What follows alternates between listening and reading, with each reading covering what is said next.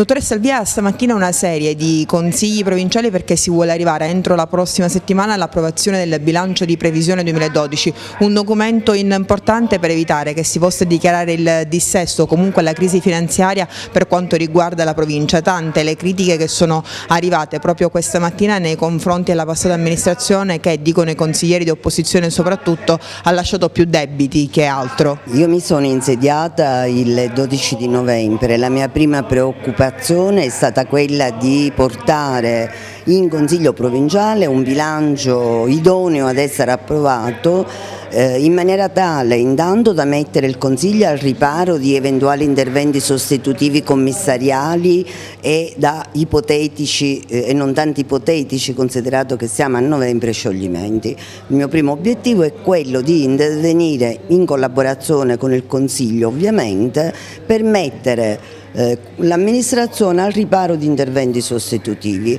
Il tema eh, del dissesto è connesso al bilancio, non c'è dubbio, ma è altro e non viene risolto con quest'atto col bilancio, ma dovrà essere risolto nell'ambito del piano quinquennale di riequilibrio che è la facoltà nuova data dalla, dal decreto legge 174 alle amministrazioni locali ed è un tema sul quale ancora la nostra attenzione è massima perché parecchie sono le criticità. Cioè, si tratta in pratica di un lavoro work progress eh, che non ci consente di dire che col bilancio siamo fuori dal guado, siamo assolutamente dentro la corrente e stiamo remando per evitare di essere trascinati. Si può fare comunque una stima dei debiti che l'ente provinciale ha?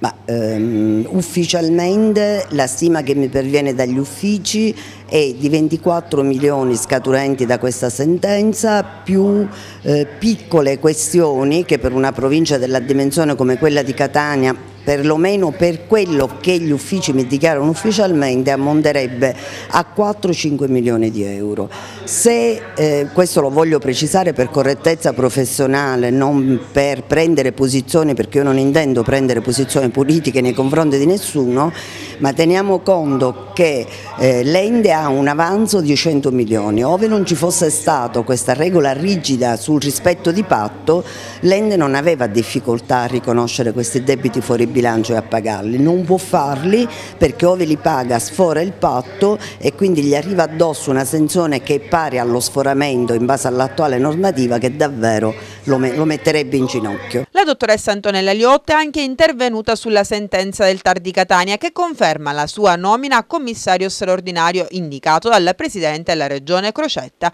Infatti è arrivato il no del TAR alla sospensione dell'efficacia del decreto con cui il Presidente della Regione l'aveva nominata. Il TAR di Catania ha rinviato al prossimo 5 dicembre la Camera di Consiglio per la trattazione del ricorso proposto dal dottore Michelangelo Monaco, presentato all'avvocato Agatino Cariola, finalizzato ad ottenere la misura cautelare al provvedimento di revoca, per quanto la motivazione del decreto presidenziale non lasci adito a dubbi di sorta. La motivazione con la quale il Presidente del TAR motiva il primo rigetto ai sensi dell'articolo 56 del CPA, credo che lì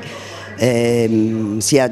in buona parte risolta la questione eh, a favore dell'assoluta competenza del Presidente Crocetta, perché poi il problema non credo che riguardi noi funzionari, noi siamo servitori ed eseguiamo un ordine del Presidente.